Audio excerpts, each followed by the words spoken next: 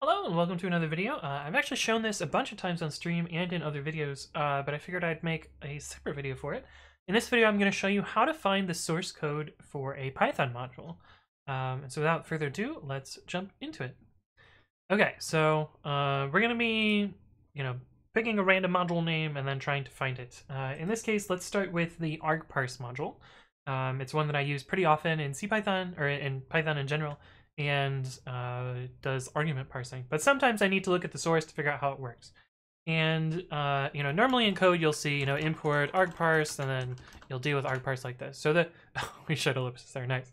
Um, so the first thing, the first way that I want to show you on how to find Python files and Python source code is if you've imported the module, you can just print out the module. So if we just do arg argparse here, uh, you'll see that the module object tells you what file it comes from. So this is one way to do this. Uh, this is actually not the way that I usually do this because it involves, you know, you'd have to start up a, a whole interpreter session and, you know, import the module and then print the module. And so there's a lot of, kind of a lot of steps to this. So I don't usually approach it this way. Uh, what I do is I view the, the, documentation for the module, and you can do that by doing python-m pydoc. So what pydoc does is it'll import the module and, you know, scrape all the doc strings and all the functions and classes and stuff, and show you the documentation of that module. So if we do python dash, m pydoc argparse, Python, well, Python 3, because I don't actually have Python 2 installed, uh, you'll see that we get the documentation reference, and it kind of reads like a man page, and it opens up in a pager, and you'll see you can scroll around here, and it you know has all of the documentation for that module. Um, now, the uh, the file name of the module is actually listed at the very bottom of this, and I believe it used to be at the top in Python 2. Uh, I don't know why they moved to the bottom. I wish it was still at the top. Uh, but to get to the bottom of the pager, you can do Shift G to get to the very bottom, and that will show you the file name. You can then copy that and you know open it in your text editor or whatever, and poke around at it. So you can see here is the here's the source code of ooh, rectangular select.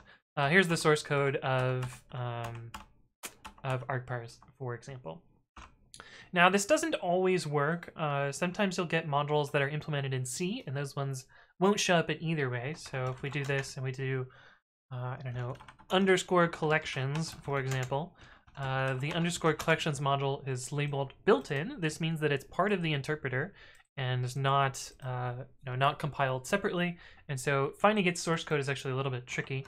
And again, if we do this by pydoc as well, uh, collections, uh, you'll see that we, we really don't get much description here. Uh, it says file built in, which is not super helpful.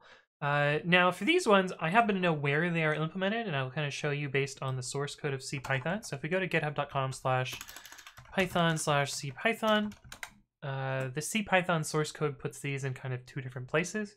Uh, one of them is in the modules directory, and in the modules directory, you'll find either you know directories that. Oops, what did I just do? Uh, I must have clicked dot dot.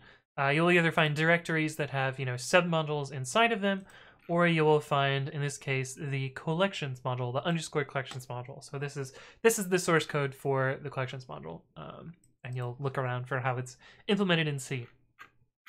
Um, and so that's one way to find the source code. Now, note that some other C modules are not actually implemented in this way.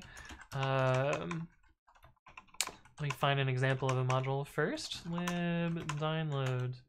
Sure, so we will find the SQLite module. So if we do python-m pydoc SQLite, uh, SQLite 3, Python 3, uh, you'll see that this one actually does list the uh, shared object file which this comes from. So you can see there's still this .so file. Um, however, this is a compiled binary, so again, you won't be able to see the source code from this. And so you'll again go to this modules directory in the CPython source to find uh, somewhere in here the SQLite uh, 3 module. I guess it's compiled all together from this SQLite subdirectory, so that one's a little bit weird. Uh, there is one other place that you can look for modules in Python, uh, in, in CPython itself, and that is in the Python directory. Uh, and I believe there's only one module in here. Actually, there's a couple of modules. So you'll see the AST module lives in here. Uh, there's also the built-in module, which is spelled a little bit weird. I actually don't know why it's spelled strangely like this, uh, but it's always always a uh, thorn in my side when I'm looking for the built-in module because it's named B-U-Y-L-T-I-N, uh, but for some reason it's Blutin in this case. Uh, there's also some other Python uh, code implemented in the objects directory, uh, but these get you know folded into other modules and don't really live here. Uh, but anyway, that's how you can find source code for for Python stuff. So two different ways: either print the module or use PyDoc. I prefer to use PyDoc. Oh, uh, I guess we could show the Python 2 version of this. PyDoc argparse. So in Python 2, the module file will be right at the top. I wish this was the way in Python 3, but alas, they changed it for some reason. I haven't looked up why they changed it. But anyway, hopefully this was helpful. If you have additional things you want me to explain, leave a comment below or reach out to me on the various platforms. But thank you all for watching, and I will see you in the next one.